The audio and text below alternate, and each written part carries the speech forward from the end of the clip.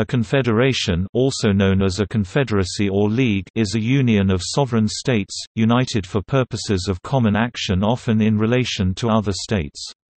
Usually created by a treaty, confederations of states tend to be established for dealing with critical issues, such as defense, foreign relations, internal trade or currency, with the general government being required to provide support for all its members. Confederalism represents a main form of intergovernmentalism, this being defined as any form of interaction between states which takes place on the basis of sovereign independence or government. The nature of the relationship among the member states constituting a confederation varies considerably. Likewise, the relationship between the member states and the general government, and the distribution of powers among them is highly variable. Some looser confederations are similar to international organizations. Other confederations with stricter rules may resemble federal systems. Since the member states of a confederation retain their sovereignty, they have an implicit right of secession. Political philosopher Emmerich Vattel observed, several sovereign and independent states may unite themselves together by a perpetual confederacy without each in particular ceasing to be a perfect state. The deliberations in common will offer no violence to the sovereignty of each member, under a confederal arrangement, in contrast with a federal one, the central authority is relatively weak. Decisions made by the general government in a unicameral legislature, a council of the member states, require subsequent implementation by the member states to take effect. They are therefore not laws acting directly upon the individual, but instead have more the character of inter-state agreements. Also, decision-making in the general government usually proceeds by consensus unanimity and not by majority, which makes for a slow and inefficient government. These problematic features, limiting the effectiveness of the Union, mean that political pressure tends to build over time for the transition to a federal system of government, as happened in the American, Swiss, German and European cases of regional integration.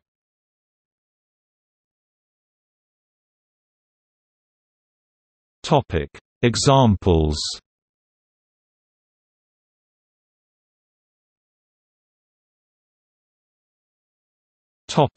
Belgium Many scholars have claimed that the Kingdom of Belgium, a country with a complicated federal structure, has adopted some characteristics of a confederation under the pressure of separatist movements, especially in Flanders. For example, C. E. Lagasse declared that Belgium was near the political system of a confederation. Regarding the constitutional reform agreements between Belgian regions federated states with well-defined geographical borders, Flanders, Wallonia and Greater Brussels and between communities state-like authorities based on the mother tongue, not geography, while the director of the Centre de Recherche et d'Information Sociopolitiques Vincent de Coorebyter called Belgium, "...undoubtedly a federation, with some aspects of a confederation. In Le Soir. Also in Le Soir, Professor Michel Cavert of the Catholic University of Leuven wrote that the Belgian political system is already in dynamics of a confederation. Nevertheless, the Belgian regions and linguistic communities lack the necessary autonomy to leave the Belgian state. As such, federal aspects still dominate. Also, for fiscal policy and public finances, the federal state dominates the other levels of government. The increasingly confederal aspects of the Belgian federal state appear to be a political reflection of the profound cultural, sociological, and economic differences between the Flemish Belgians who speak Dutch or Dutch dialects and Walloons Belgians who speak French or French dialects. As an example, in the last several decades, over 95% of Belgians have voted for political parties that represent voters from only one community, the separatist N-VA being the party with the biggest voter support among the Flemish population. Parties that strongly advocate Belgian unity and appeal to voters of both communities play usually only a marginal role in nationwide general elections. This makes Belgium fundamentally different from federal countries like Switzerland, Canada, Germany and Australia. In those countries, national parties regularly receive over 90% of voter support. The only geographical areas comparable with Belgium within Europe are Catalonia, the Basque Country both part of Spain, Northern Ireland and Scotland both part of the United Kingdom and parts of Italy, where a massive voter turnout for regional and often separatist political parties has become the rule in the last decades, while nationwide parties advocating national unity draw around half, or sometimes less, of the votes.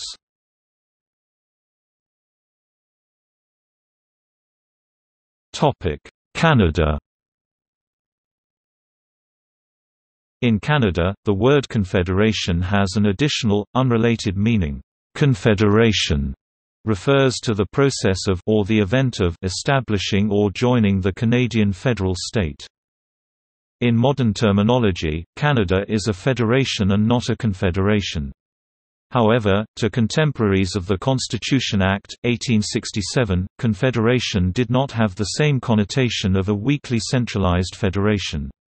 Canadian Confederation generally refers to the Constitution Act, 1867, which formed the Dominion of Canada from three of the colonies of British North America, and to the subsequent incorporation of other colonies and territories. Therefore, on 1 July 1867, Canada became a self-governing dominion of the British Empire with a federal structure under the leadership of Sir John A. Macdonald. The provinces involved were the Province of Canada comprising Canada West, now Ontario, formerly Upper Canada, and Canada East, now Quebec, formerly Lower Canada, Nova Scotia, and New Brunswick. Later participants were Manitoba, British Columbia, Prince Edward Island, Alberta and Saskatchewan the latter two created as provinces from the Northwest Territories in 1905, and finally Newfoundland now Newfoundland and Labrador in 1949. Canada is an unusually decentralized federal state and not a confederate association of sovereign states the usual meaning of confederation in modern terms. A Canadian law, the Clarity Act, and a court ruling, reference re-secession of Quebec, set forth the conditions for negotiations to allow Canadian provinces though not territories to leave the Canadian federal state, however, as this would require a constitutional amendment, there is no current «constitutional» method for withdrawal.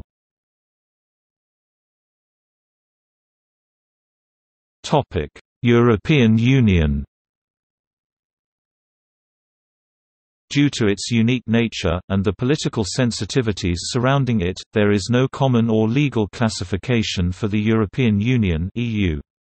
However, it does bear some resemblance to both a confederation or a new type of confederation and a federation. The term supranational union has also been applied. The EU operates common economic policies with hundreds of common laws, which enable a single economic market, open internal borders, a common currency among most member states and allow for numerous other areas where powers have been transferred and directly applicable laws are made. However, unlike a federation, the EU does not have exclusive powers over foreign affairs, defence and taxation. Furthermore, laws sometimes must be transposed into national law by national parliaments, decisions by member states are taken by special majorities with blocking minorities accounted for, and treaty amendment requires ratification by every member state before it can come into force. However, academic observers more usually discuss the EU in the terms of it being a federation. As international law professor Joseph H. H. Weiler of The Hague Academy and New York University wrote, "...Europe has charted its own brand of constitutional federalism." Jean-Michel Josselin and Alan Marciano see the European Court of Justice in Luxembourg City as being a primary force behind building a federal legal order in the Union with Josselin stating that a Complete shift from a confederation to a federation would have required to straightforwardly replace the principality of the member states vis-a-vis the Union by that of the European citizens. As a consequence, both confederate and federate features coexist in the judicial landscape. Rutgers political science professor R. Daniel Kelemen observed, Those uncomfortable using the F word in the EU context should feel free to refer to it as a quasi-federal or federal-like system. Nevertheless, the EU has the necessary attributes of a federal system. It is striking that while many scholars of the EU continue to resist analyzing it as a federation, most contemporary students of federalism view the EU as a federal system. Thomas Rees and Tanya A. Börzel claim that the EU only lacks two significant features of a federation. First, the member states remain the «masters» of the treaties, i.e., they have the exclusive power to amend or change the constitutive treaties of the EU. Second, the EU lacks a real tax and spend capacity, in other words, there is no fiscal federalism. Valéry Giscard d'Estaing, the chairman of the body of experts commissioned to elaborate a constitutional charter for the European Union, was confronted with strong opposition from the United Kingdom towards including the words «federal» or «federation» in the unratified European Constitution, and hence replaced the word with either «community» or «union».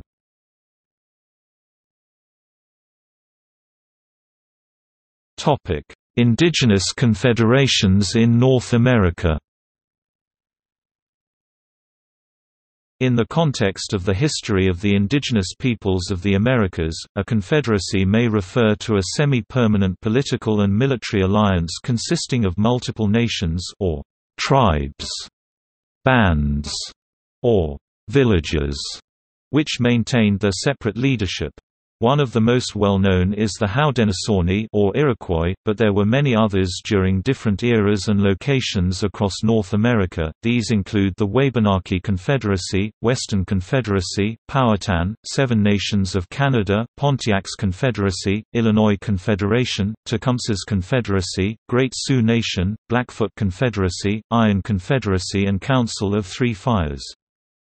The Haudenosaunee Confederacy, historically known as the Iroquois League or the League of Five—later, six, Nations, is the country of Native Americans in what is now the United States and First Nations in what is now Canada that consists of six nations, the Mohawk, the Oneida, the Onondaga, the Cayuga, the Seneca and the Tuscarora. The Six Nations have a representative government known as the Grand Council which is the oldest governmental institution still maintaining its original form in North America. Each clan from the Five Nations sends chiefs to act as representatives and make decisions for the whole confederation. The League has been operating since its foundation in 1142 CE despite limited international recognition today. In fact, Haudenosaunee issues passports for its citizens, though travelers often face problems crossing state borders.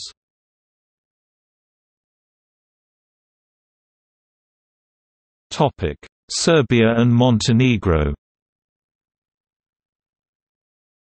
Serbia and Montenegro Federal Republic of Yugoslavia was a confederation that was formed by the two remaining republics of the Socialist Federal Republic of Yugoslavia SFR Yugoslavia, Montenegro and neighboring Serbia. The country was reconstituted as a very loose political union which was established on 4 February 2003. As a confederation, Serbia and Montenegro were united only in very few realms, such as defense, foreign affairs and a very weak common president of the confederation. The two constituent republics functioned separately throughout the period of its short existence, and continued to operate under separate economic policies, as well as using separate currencies the euro was and still is the only legal tender in Montenegro, while the dinar was still the legal tender in Serbia. On 21 May 2006, the Montenegrin independence referendum was held. Final official results indicated on 31 May that 55.5% of voters voted in favor of independence. The Confederation of Yugoslavia effectively came to an end after Montenegro's formal declaration of independence on 3 June 2006, and Serbia's formal declaration of independence on 5 June.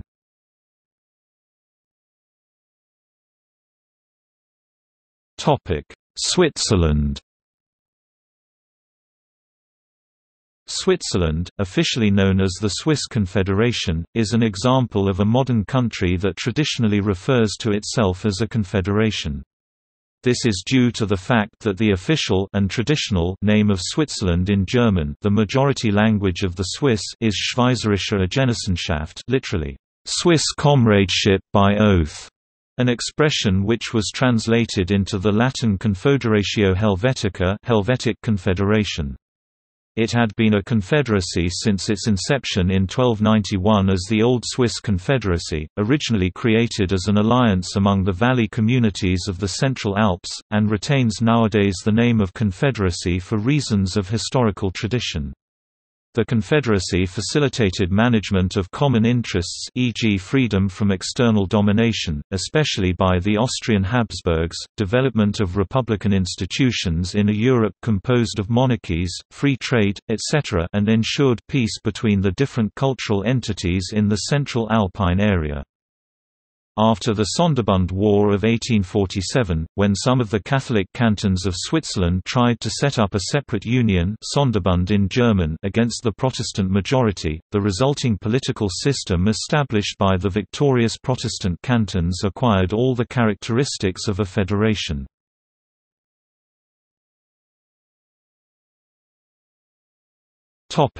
Historical confederations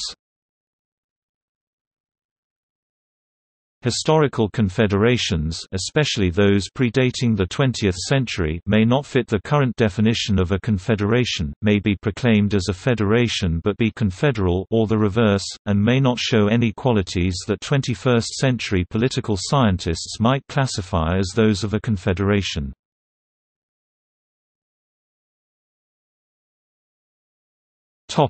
List Some have more the characteristics of a personal union, but appear here because of their self-styling as a «confederation».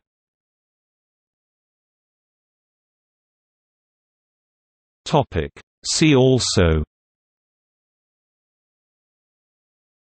Associated state Commonwealth Federalism Federation List of confederations